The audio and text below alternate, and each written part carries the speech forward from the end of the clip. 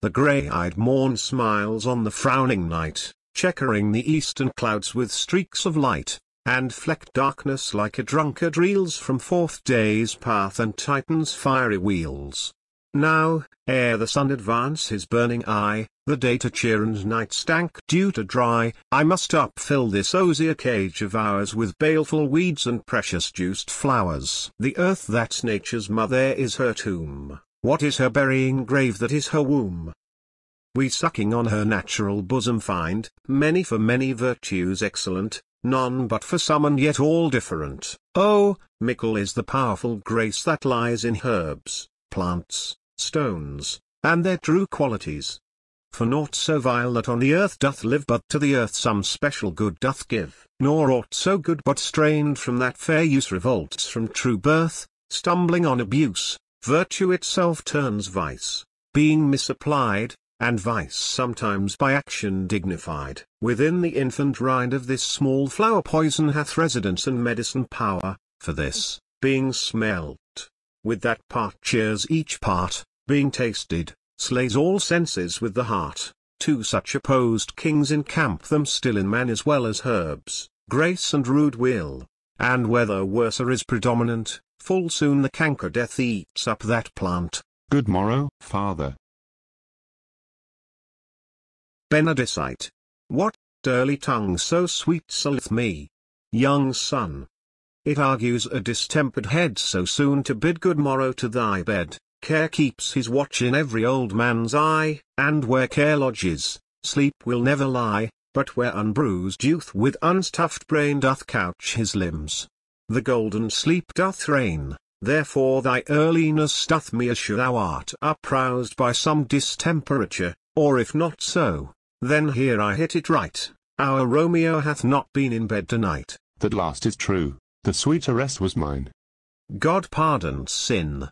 Wast thou with Rosaline? With Rosaline, my ghostly father.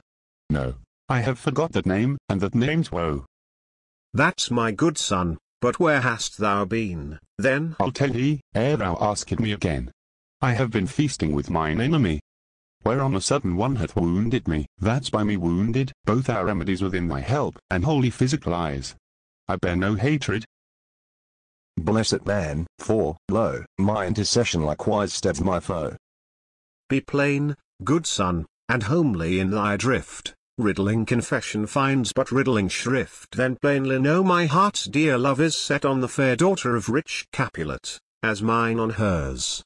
So hers is set on mine, and all combined, save what thou must combine by holy marriage. When and where and how we met, we would and made exchange of vow, I'll tell thee as we pass, but this I pray, that thou consent to marry us today.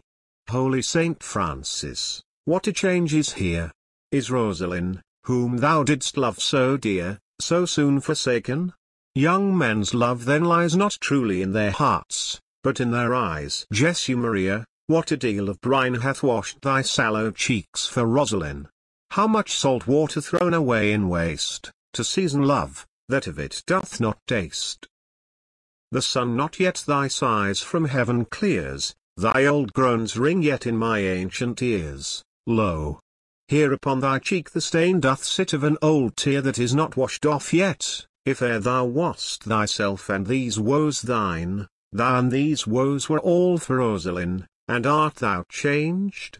Pronounce this sentence then, women may fall, when there's no strength in men. Thou chidst me oft for loving Rosaline for doting, not for loving, pupil mine, and badst me bury love.